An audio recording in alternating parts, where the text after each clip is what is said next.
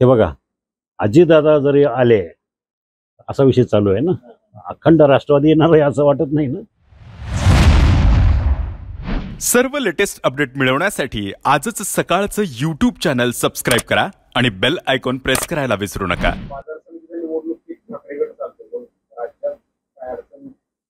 नाही मला सांगा कुठं ठाकरे गट चालतोय? कुठं चालला ठाकरे गटाचे सांगा जागा? जेवढे.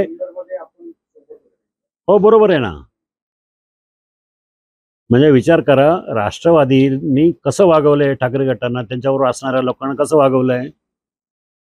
ही पुणे जिल्ह्यामध्ये ही पश्चिम महाराष्ट्रामध्ये ही परिस्थिती आहे. की का?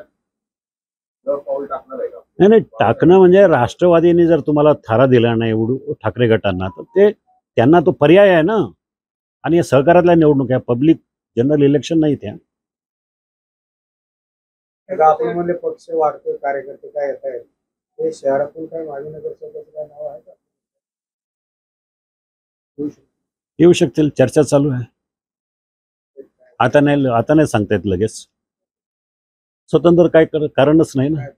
ज्या प्रमाणामध्ये शिव एकनाथ शिंदे आणि देवेंद्र फडणवीस यांचं सूत जुळलंय. अगदी आमचे मुख्यमंत्री आणि केंद्रीय गृहमंत्री असेल पंतप्रधान असतील यांची विचाराची जी नाळ जुळलेली आहे. त्यामुळं आम्ही स्वतंत्र लढणं म्हणजे विषयच नाही काय तसं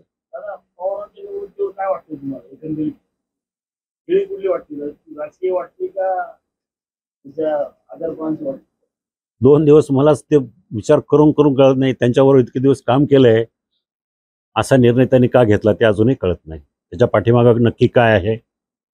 हे मला काय कोणालाच कळणार नाही. जोपर्यंत ते स्वतः उद्या सांगतील निर्णय तोपर्यंत महाराष्ट्रात कुणालाही काही कळणार नाही.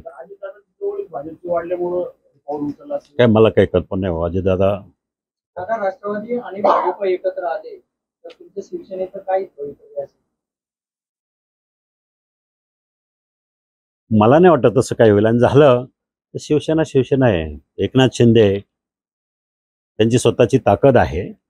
आणि भाजप आम्हाला सोडून असं काय करतील असं काय नाही. सगळ्या विचारांती जर झालं तर आम्हाला काय अडचण आहे दादा पण तुम्ही म्हणताय की तुम्ही ऐका. राष्ट्रवादीबरोबर संघर्ष केला होता. हो हो. महाविकास आघाडी. जर राष्ट्रवादी सोबत आले तर तुम्हाला तुमची भूमिका हे बघा अजितदादा जरी आले असा विषय चालू आहे ना. अखंड राष्ट्रवादी येणार आहे असं वाटत नाही ना. आणि तिन्ही पक्ष पक्ष समजा शिवसेना राष्ट्रवादी आणि भाजप एकत्र आले तर चांगलंच होईल ना.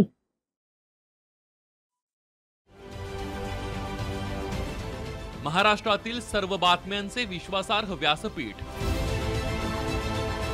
सकाळच्या सर्व सोशल मीडिया प्लॅटफॉर्मला लाईक फॉलो आणि सबस्क्राईब करा. तसंच सर्व नोटिफिकेशनसाठी बेल आयकॉन प्रेस करायला विसरू नका.